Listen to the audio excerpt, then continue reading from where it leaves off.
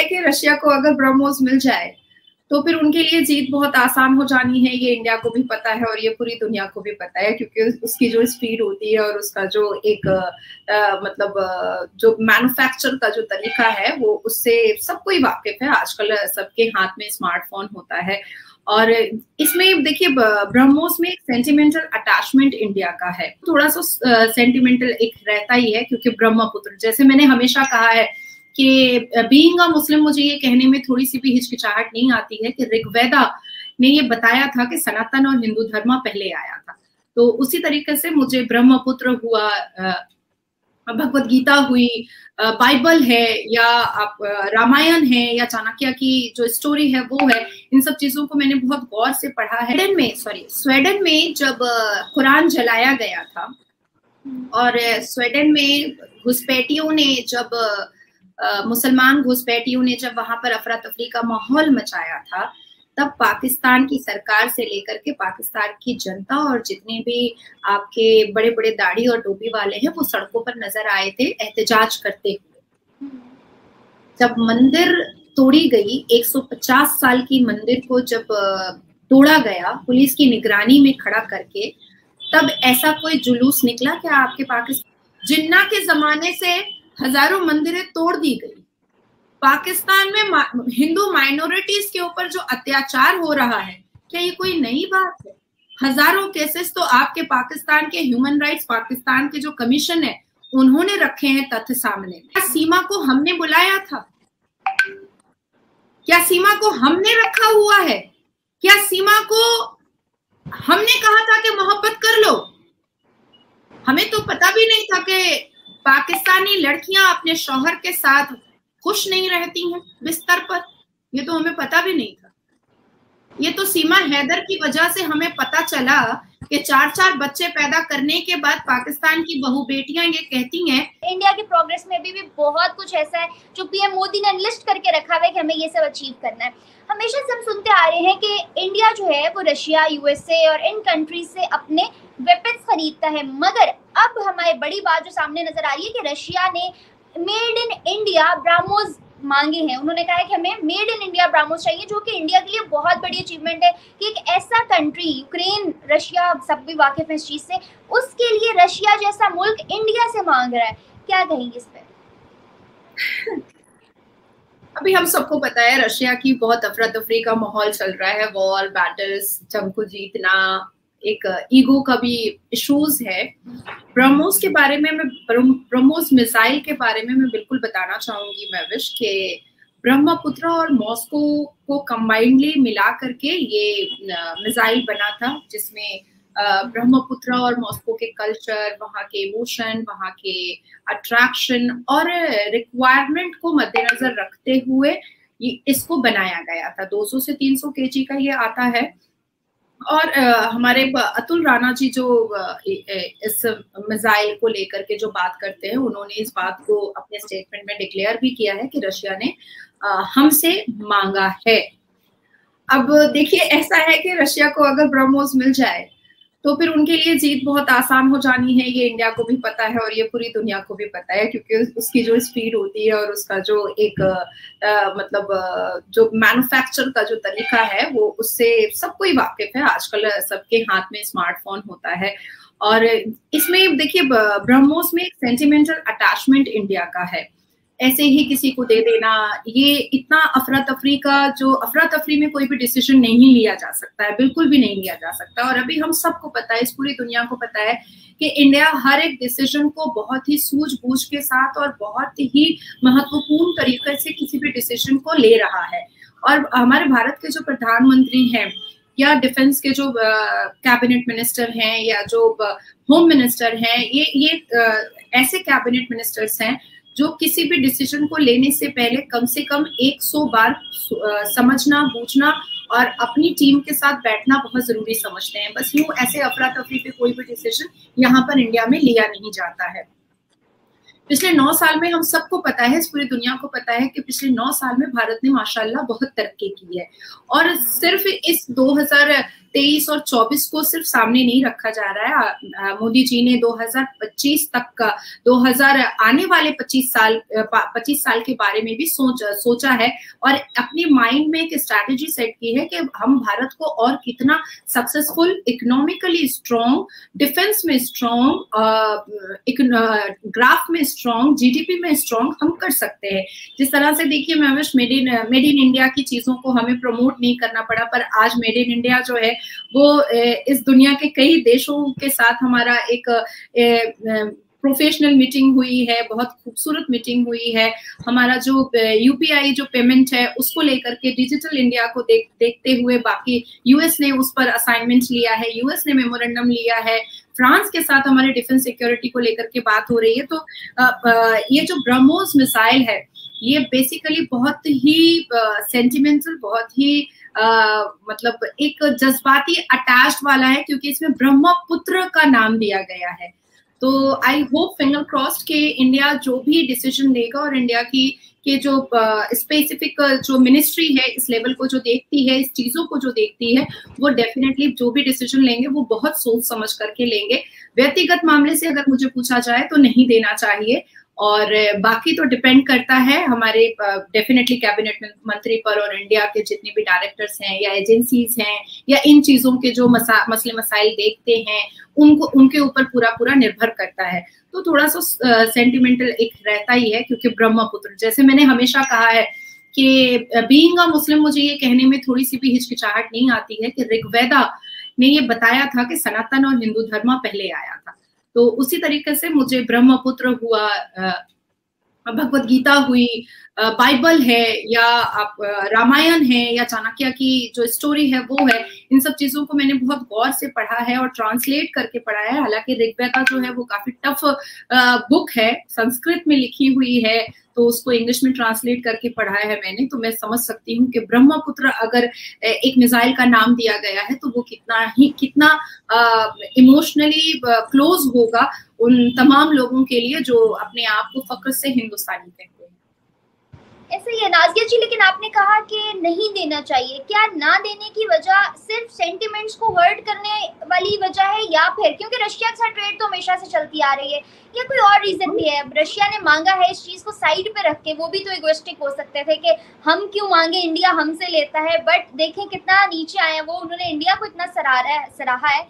इतना जो है ना इस काबिल समझा है, आज इंडिया जिस जगह पे है, पूरी, ना सिर्फ़ रशिया बल्कि पूरी दुनिया इस काबिल समझती है कि वो मैन्युफैक्चर करवाना चाहती है इंडिया से। बिल्कुल वैसी जैसे टाटा ग्रुप्स ने कहा कि आईफोन 15 और 15 प्लस हम इंडिया में लॉन्च करेंगे मैन्युफैक्चर इंडिया में होगा।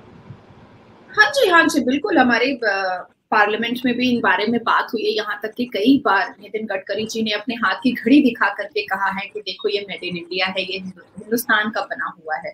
तो आज इतने बड़े बड़े ब्रिज हैं रोड हैं हाईवेज हैं, बहुत सारी टेक्निकल चीज़ें हैं, बहुत सारी डिजिटल चीज़ें हैं वंदे भारत ट्रेन है, बहुत सारी ऐसी चीज़ें हैं जो मेड इन इंडिया खुद बनाता है। मैंने कई बार इन बातों को कहा है कि हमारे, हमें किसी से कुछ लेने की ज़रूरत नहीं है। नौ साल में इंडिया इतनी तरक्की कर चुका है, मैं विश कि अब हमसे लोग ले रहे हैं। आपने एक बात कही कि रशिया नीचे झुक करके मांगा है।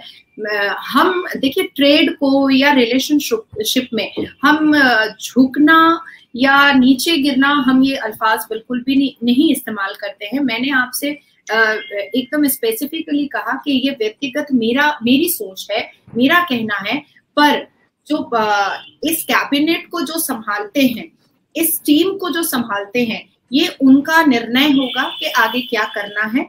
और ये ये वही डिसीज़न ले सकते हैं।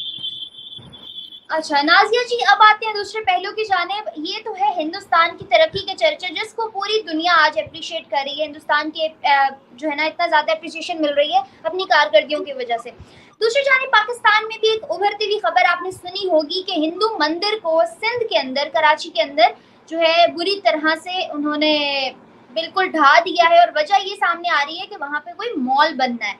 मुझे बताएँ इस चीज़ को किस नज़र से देख रही हूँ? और अगर हम इसको कंपेयर करें इंडिया से हिंदुस्तान में मौजूद मुसलमानों की मस्जिदों के साथ क्योंकि आप भी एक मुस्लिम हैं तो क्या एनालिसिस करती हैं? सबसे पहली बात है कि मॉस्को में स्वीडन में सॉरी स्वीडन में जब कुरान जलाया गया था और स्वीडन में घुसपैठियों ने जब मुसलमान घुसपैठियों ने जब वहाँ पर अफरा तफरी का माहौल मचाया था, तब पाकिस्तान की सरकार से लेकर के पाकिस्तान की जनता और जितने भी आपके बड़े बड़े दाढ़ी और टोपी वाले हैं, वो सड़कों पर नज़र आए थे एहतजाज करते हुए। जब मंदिर तोड़ी गई 150 साल की मंदिर को जब तोड़ा गया, पुलिस की निगरानी में खड़ा करके, तब ऐसा कोई जुलूस निकला क्या आपके पाकिस्तान में? क्योंकि कुरान तो ने प्रोटेस्ट किया जिनके घर वहाँ तबाह हुए सिर्फ़ उन लोगों ने प्रोटेस्ट किया और किसी ने नहीं किया। वो भी हिंदू थे। तो लेकिन कुरान तो कहता है महविश लकुम दिन नकुम वलयदीन आप अपने धर्म की इज़्ज़त करो और दूसरों को उसके धर्म की इज़्ज़त करने दो। कुरान ने तो तीन सौ छियासठ बार कहा है या अयुहन नास ओह मैन काइंड तो ये मैन काइंड कहाँ चला गया? है ना? अब अच्छा, आप अब मैंने मेरी बात कंप्लीट हो जानी दीजिए क्योंकि आपने बहुत बड़ा सवाल किया है। हम्म। अब आप कह रहे हैं कि हिंदुस्तान में अगर मस्जिद तोड़ी जाती आपने ये बात कही है अभी ठीक है? जो मंदिर 150 साल की टूटी थी महविश सैटरडे और the first incident took place on Saturday and the second incident took place on Sunday ठीक है? क्या उस पर कोई कानूनी कार्रवाई चल रही थी? क्या पाकिस्तान के सुप्रीम कोर्ट ने ये डेमोलिशन का ऑर्डर दिया? क्या वो लैंड डिस्प्यूटेड था? सच कोई चीज़ सामने नहीं आई। तो आप जिस मंदिर की तरफ़ इशारा कर रही हैं ना हिंदुस्तान में उस मंदिर पर एक डेकेड एक डेकेड तक सुप्रीम कोर्ट में केस चला था। All India Muslim personal law board को एक डेकेड एक डेकेड का मतलब समझती है ना कितना साल हुआ? एक decade supreme court of India ने all India Muslim personal law board को ये जगह दी कि आप साबित करें कि यह आपकी मस्जिद है। जब वो साबित नहीं कर पाए तो कानूनी एक बड़े बैटल के बाद हिंदुओं ने अपनी जगह को अपने मंदिर को अपनी आस्था को कानूनी तरीके से जीता और तब फिर वहाँ पर राम मंदिर का की स्थापना रखी गई। हमारे यहाँ हाई बबेला और छाती पीटने से न्याय नहीं मिलता है। हमारे यहाँ कोर्ट के अंदर जा करके गुहार लगाना पड़ता है। सबूतों के तथ्य और सबूतों के सत्य के आधार पर हमारे यहाँ न्याय मिलता है। आज आपके घर में अगर कोई आकर के कह दे कि ये मेरे अब्बा का मजार था या मेरे दादा का मजार था, आपको ये घर खाली करना पड़ेगा तो क्या आप मान जाइएगा? तो उसी तरीके से हिंदुओं के सेंटिमेंटल अटैचमेंट थे उसमें, हिंदुओं की आस्था थी उस पर, हिंदुओं का एक विश्वास था उस पर, और तब भी तब भी उन्होंने एक डेकेड कानूनी लड़ाई लड़ी, हर एक तथ्य और सत्य को सुप्रीम कोर्ट ऑफ़ इंडिया के सामने रखा और हर बार all India Muslim personal law board को बराबरी से उनके सत्य और तथ्य को सामने रखने का मौका दिया गया। फिर भी वो साबित नहीं कर पाए। फिर भी सरकार, इसी भारत की सरकार ने उनको कई एकड़ ज़मीन दिया कि आप यहाँ पर मस्जिद बना सकते हैं अपनी तो हमारे यहाँ छाती पीटने से न्याय नहीं मिलता है। हमारे यहाँ कानूनी कार्रवाई से और सबूत के आधार पर न्याय मिलता है, चाहे वो कोई भी न्याय मंदिरें तोड़ने से आप आस्था को चोट पहुँचा रहे हैं, आप विश्वास को चोट पहुँचा रहे हैं, पर आप कहीं ना कहीं कर्ज ले रहे हैं।